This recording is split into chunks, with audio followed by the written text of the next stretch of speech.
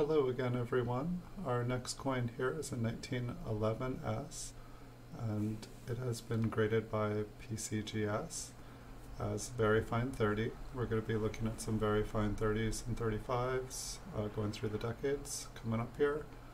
Uh, let's take a look at the front.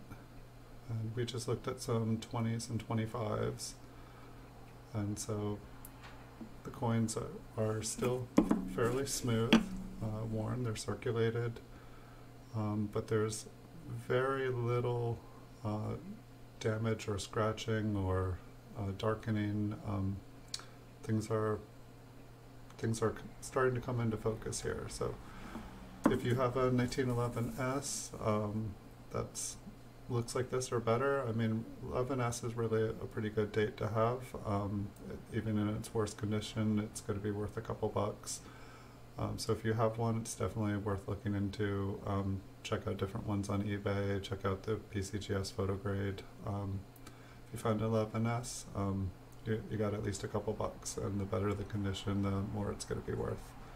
Uh, I'm going to put this one up on eBay, um, and we'll have some more uh, 30s and 35s coming up. Thanks for watching.